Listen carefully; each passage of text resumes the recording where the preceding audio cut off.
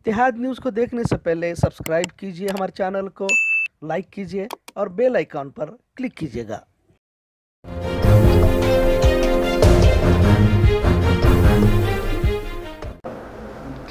वालेकुम north Karnataka Haj Bhavan action committee के chairman Hamid Kopat साहब को बेलगाम के तरफ़ से, बेलगाम के माइनॉरिटी की तरफ़ से और मुबारकबाद देके उनकी गुलफिशी करते हैं।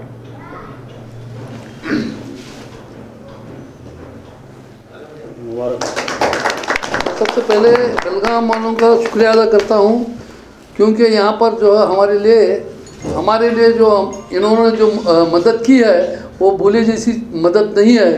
इस इस जगह पर हज भवन बनाने का था वो हुबली में बनाने के लिए जो दिए यहाँ के अंजुमन हर लोग जो यहाँ पर दिए मुख्तार भाई हमारे जो अबू अबू बकर हमारे इनो आरिफ भाई इकबाल भाई तौफीक भाई ये जो हमारे लिए जो मदद किए हैं, मैं उनका शुक्रिया अदा करता हूँ। साथ साथ जो यहाँ पर जो है, जब हज भवन की तैयारी वो पूरा कंप्लीट होने के बाद जो यहाँ पर बुलाकर मुझे जो गुलपुशी किया जा रहा है, उसका बहुत दिल से गुजगवार हूँ।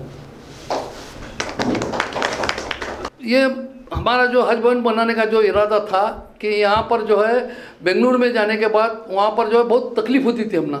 और यहाँ पर से जाने के लिए, जाने के लिए एटलीस्ट दस से पंद्रह लोग जाना पड़ता था। रिलेशंस हर लोग जाना पड़ता था। लेकिन खर्च भी ज़्यादा होता था।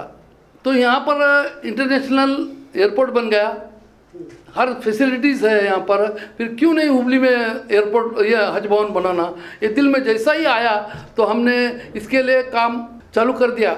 और जितने भी हमारे थर्टीन डिस्ट्रिक्ट्स हैं, क्या यहाँ तक कि हम लोग महाराष्ट्र लोगों का भी साथ लिया, बॉम्बे वाले लोगों का भी साथ लिया हम लोग, और आंध्रा के साइड भी हमारा, उन लोगों का भी साथ लिया हम लोग। लेकर जो है, हर डिस्ट्रिक्ट में जाते थे।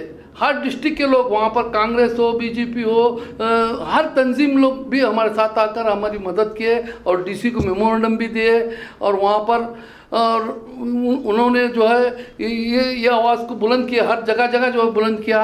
इस इसलिए जो है बेलगाम में भी जो है ना हमारे साथ दो बार हम दो तीन बार आए पर यहाँ पर आने के बाद यहाँ हमारे जो है लोग सीएम के साथ भी बात करें यहाँ के लोग जो है क्या और हम लोग सीएम के साथ भी मुलाकात की और उन्होंने भी जो है इसके वास्ते हम ना हज भवन देने का जो है ये करा।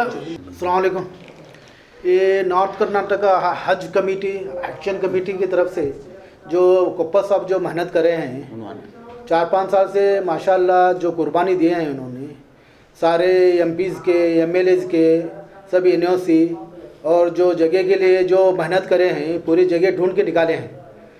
माशाल्लाह तीन चार ज़मीनें देखे फिर एक ज़मीन उनको पसंद आई और दो तीन ज़मीनों में से एक ज़मीन उन्होंने दिखा के सर्वे भी कराए और पूरा कारपोरेशन की भी एनओसी हो गई। और जो है नहीं उन्होंने अभी जाके वो लास्ट टाइम जगदीश शट्टर साहब से मुलाकात हुई उन्होंने हमारे को आश्वासन दे दे के करेंगे इंशाल्लाह। तो अभी जो है वो बोडा में जाके पूरा अप्रूवल को है अभी वो सब मेहनत चली है इंशाल्लाह। सब मिल के अभी पूरे, सब मिल के पूरे बेलगाम वाले हो या पूरे तेरह डिस्ट्रिक्ट के लोग अगर मिल के ये काम करना है तो हमीद कपल साहब का साथ देके इंशाल्लाह हम इस काम को मुकम्मल करेंगे। तो सर इंशाल्लाह सबको हाजियों के लिए भी सहूलत होगी और हमारे जितने भी आगे पीछे लोग, हमारे ईमान वाले भाई हैं, वो जाने, दूर जाने से गोवा को जाना है या बेंगलुरु को जाना है, वो जाने से बच जाएगा, सहूलत यहाँ पर हुबली में होगा तो इंशाल्लाह आसानी होगी। अल्लाह की वजह से हमारे हमीद कपूर साहब को अल्लाह जजाय खैर अता फरमाए हमारे लिए और सारे हाजियों के लिए मेहनत कर रहे हैं, फ़िक्र कर रहे हैं। अल्लाह उनके उम्र में बरकत अता फरमाए। वालेकुम रहमतुल्लाहि व बरकातुहू हज एक्शन कमेटी नॉर्थ कर्नाटका की जानिब से है। यहाँ पर एक वक्त बेलगाम आया हुआ है और वो बेलगाम हुबली के अंदर हज भवन की तामीर को लेकर वो यहाँ पर आया हुआ है। हमीद कोपत साहब की यहाँ पर शालपोशी भी फरमाई गई है। लिहाजा अख्तर साहब आपसे हमारा सवाल है कि जो हज भवन बनाया जा रहा है, उसके क्या फ़ायदे होंगे, किन लोगों को फ़ायदे होंगे, और अब तक रुका क्यों है? इस पर स्टार्ट ये जो काम जो हुआ चार साल पहले, जब कुमार स्वामी जो चीफ मिनिस्टर थे हमारे, जब से काम हम लोग स्टार्ट किए, फ़र्स्ट टाइम कुमार स्वामी को हम, हमारे जो है, चेयरमैन साहब जो है, नॉर्थ कर्नाटका, हज कम, हज एक्शन कमेटी के चेयरमैन हमीद कोपत साहब और पूरा हुबली का, बेलगाम का वफद मिलके उनको कुमार स्वामी साहब को मेमोरेंडम दिए उन्होंने भी हमारा अच्छा ये के रिस्पॉन्स किए और बोले कि हम लोग करते, हम लोग साथ देते आपका। उसके बाद हम लोग वहाँ के बाद जो है दिल्ली चले गए मुख्तार अब्बास नकवी साहब को भी मेमोरेंडम दिए। उन्होंने भी हम, हमारे को सराहना की कि बहुत अच्छा कर रहे हैं आप, आपका बहुत अच्छा कदम है। वो लोग भी साथ दिए तो बोले, करते बोले। फिर उसके बाद जो है, मुंबई अमन कमेटी में हम लोग ये बात रखे, जो हज हज कमेटी जो मुंबई में, अमन कमेटी वाले भी हमारा साथ दिए, मुंबई अमन और उसके जो, साथ में जो नॉर्थ कर्नाटक पे जितने भी हमारे तेरह इजलास है, वहाँ के जो अंजुमन है, जो है, अंजुमन का भी ताउन हमें मिला। उसके बाद जो लोकल जो है कुमार स्वामी की बात जो येडुरप्पा जो आए, सीएम और तो जगदीश उन्होंने भी साथ दिया उनको भी मेमोरेंडम दिए। उसके बाद जो है, तेरह एम, ग्यारह एमपी और सैंतीस, थर्टी सेवन एमएलए का हम लोग ने लेटर लेके उन्होंने भी हमारा साथ दिए। उसके बाद जो है ये सब काम चलता रहा। बाद में जो है बेलगाम के जो है रीजनल कमिश्नर और जो है बीएमसी कमिश्नर हुबली एसी और ये लोगों ने सब ये लोग को ये लोग सब साथ दिए। उसके बाद जो है गोकुल रोड जो हुबली में है एयरपोर्ट के बाजू में, वहाँ दो एकड़ जगह जो है इंस्पेक्शन हुई।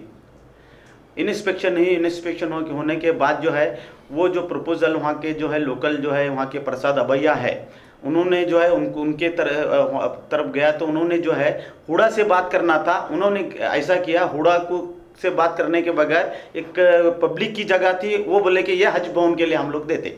तो इसमें क्या है रुकावट हो गई काम में। बहुत अच्छा काम चल रहा था। और इसमें रिकॉर्ड हो गई। और इसमें क्या होता है, अगर ऐसा रुकावट होने के बाद कुछ हमारे अंजुमन हुबली के जो पुराने अंजुमन के लोग थे, वो लोग बोले, नहीं, हमारा भी एक जगह है, हम लोग वो देते हैं पच्चीस किलोमीटर। लेकिन हमारे जो नॉर्थ कर्नाटक की जो पब्लिक जाएगी, हमारे जो हाजी जाएँगे उनको जो है एयरपोर्ट के बाजू में जो दो दो एकड़ जगह है वो नज़दीक थी। आ, हर तरह की फैसिलिटी होती थी सिटी शहर नज़दीक था तो सहूलत हर तरह से सहूलतें मुहैया होती थी।